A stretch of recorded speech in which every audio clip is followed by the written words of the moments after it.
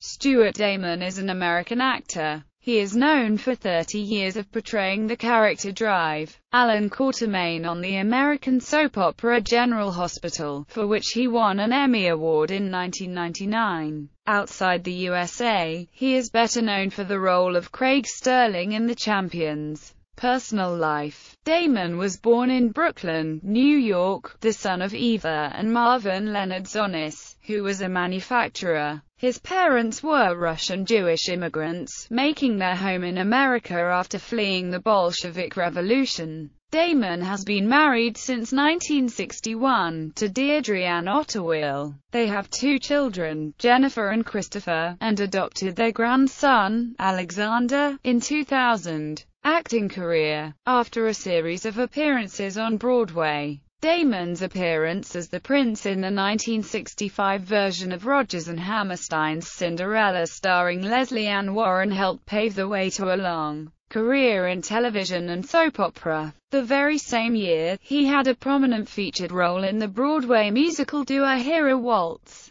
Written by Richard Rodgers and Stephen Sondheim. He had earlier appeared in an off-Broadway revival of The Boys from Syracuse with music by Rodgers and lyrics by Lorenz Hart. Damon is prominently featured on the cast albums of these musicals, as well as the 1960 hit Irma La Douce. Moving to Britain in the 1960s, Damon starred in the hit musical Charlie Girl with Anna Neagle in 1965 and appeared as secret agent Craig Sterling, alongside Alexandra Bastedo and William Gaunt, in the cult series The Champions. He also partnered with Roger Moore in an episode of The Saint which has been credited as an inspiration for the later series The Persuaders, with Damon's role being played by Tony Curtis. In 1968 he appeared in the BBC TV adaptation of the £1 million banknote, and played the starring role. Damon also played magician Harry Houdini in a lavishly staged London musical, Man of Magic.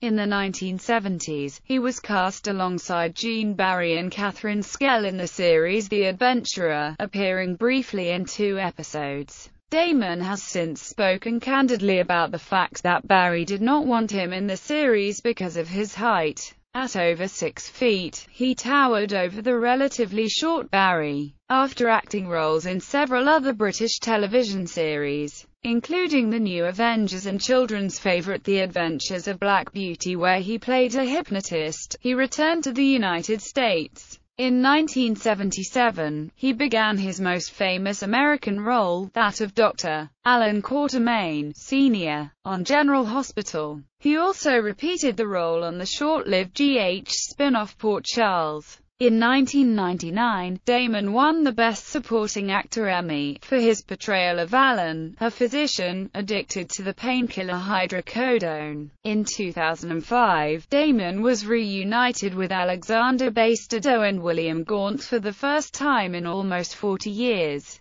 to provide audio commentary on a DVD release of The Champions. In December 2006, it was reported that Damon had been fired by Jill Farren Phelps on the orders of Anne Sweeney and Brian Frons from General Hospital and his last air date was scheduled for February 26, 2007, when his character died. The reason behind his release was not made public. The taping of the final scene occurred on February 5, coincidentally Damon's 70th birthday. Fellow actors on General Hospital spoke to the press about how upset they were over Damon's firing, with Damon's on-show wife Leslie Charleson saying, This is the 30th anniversary for the two of us, in August. The timing leaves me very discouraged about the way soaps are going. The total disregard for history and the blatant disregard for the veterans. Despite the death of the character, Damon had remained on the show, playing the ghost of Alan Quartermaine, haunting his sister Tracy about forging Alan's will. He remained with the show until December 23, 2008, when Alan appeared to Monica on Christmas to tell you her that he loved her. On September 18, 2009, Damon began appearing on As the World Turns as Janet and Terry Ciccone's uncle, Ralph Manzo, a businessman most likely involved with the mob.